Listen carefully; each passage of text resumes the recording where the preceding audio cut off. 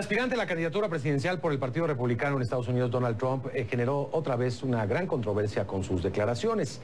En un comunicado de campaña publicado por el diario The Washington Post, Trump anunció que de llegar a la presidencia pedirá a México un pago único de entre 5 mil a 10 mil millones de dólares por el muro que pretende construir entre los dos países.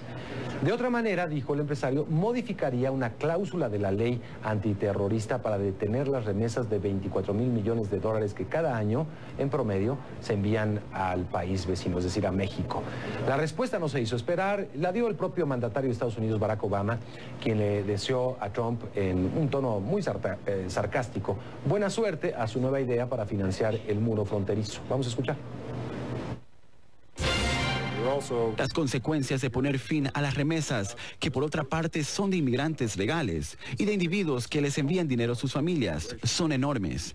En primer lugar, son inviables. Recién hablamos sobre la dificultad de intentar controlar la salida de grandes flujos de capital. La noción de que podemos rastrear cada puñado de dinero enviado por Western Union. Buena suerte con eso inviables, moralmente cuestionables, legalmente cuestionables incluso. En este contexto, la Secretaría de Relaciones Exteriores informó que el presidente de México propuso a un nuevo embajador de nuestro país en Estados Unidos. La sorpresiva decisión se toma apenas seis meses después de que Miguel Bazáñez asumiera la representación diplomática de México en Estados Unidos, después de que la embajada estuviera acéfala durante un periodo similar. El sustituto de Bazáñez, eh, en caso de ser ratificado por el Senado mexicano y, y aprobado también por Estados Unidos, sería Carlos Manuel Sada, un ingeniero industrial que se ha desempeñado como cónsul en diversas ciudades de Estados Unidos. También fue designado, designado como nuevo subsecretario para América del Norte Paulo Carreño, quien hasta ahora se desempeñaba como coordinador de medios internacionales de la Presidencia de la República y eh, antes director ejecutivo de comunicación del Grupo Financiero Banamex.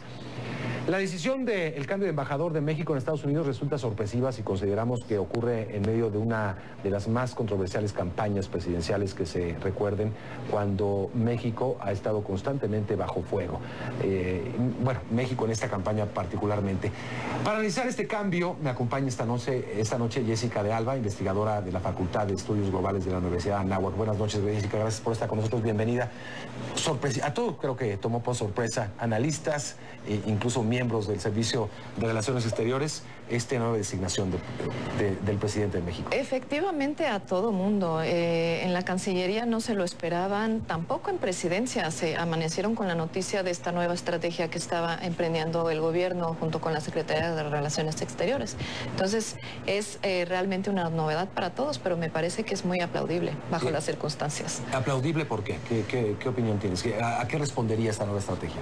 Efectivamente se está viendo y se están perfilando los candidatos principales que van a llegar a la competencia por la presidencia de Estados Unidos.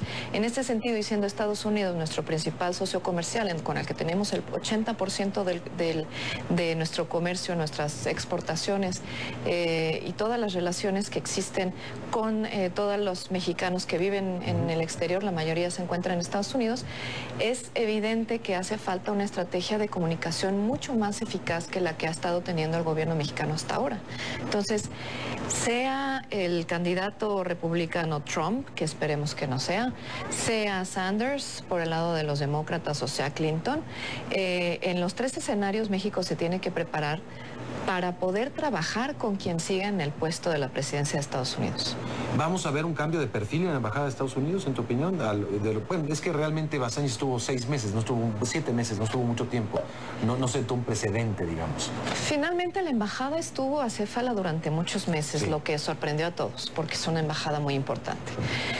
Basáñez está poco tiempo. Basáñez es una persona eh, muy preparada, es un gran académico, eh, pero no se le vio tanto, eh, no estuvo, no brilló durante la gestión.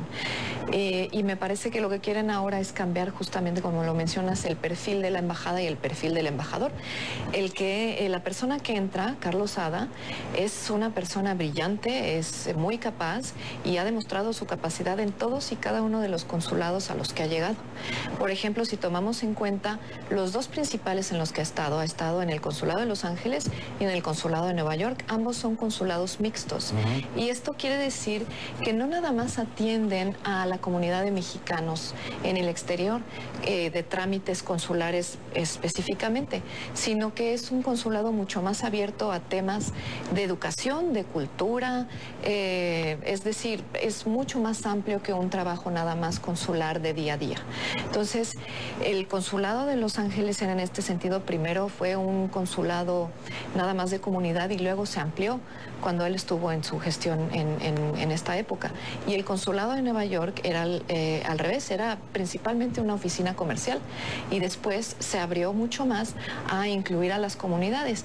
Pero uno de los grandes éxitos que tuvo eh, el cónsul ahí, ahora eh, probablemente futuro embajador de México en Estados Unidos, es que no nada más abrió el tema para la comunidad de los mexicanos migrantes, sino para esta otra comunidad que muchas veces no conocemos, que es la comunidad que está posicionada en los grandes puestos bancarios, eh, en las diferentes industrias en Estados Unidos, que, de los que no se habla mucho, pero que están ahí, que existen y que son mexicanos. El nombramiento del nuevo subsecretario para América, para Asuntos de América del Norte, eh, Pablo Carreño, también respondería a esto, es decir, él estuvo encargado de la oficina de la presidencia para Marca País. Eh, ¿Va en ese sentido una, digamos, un perfil mucho más de comunicación?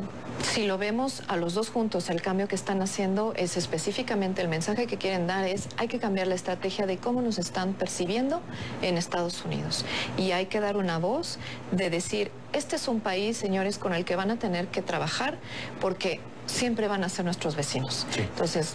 Ahora, ¿cuál sería ese mensaje? Es decir, ya tenemos el medio, ya tenemos los medios que son nuevas caras, ya tenemos un nuevo mecanismo de, decir lo que queremos decir, pero ¿qué queremos decir realmente a nuestros vecinos?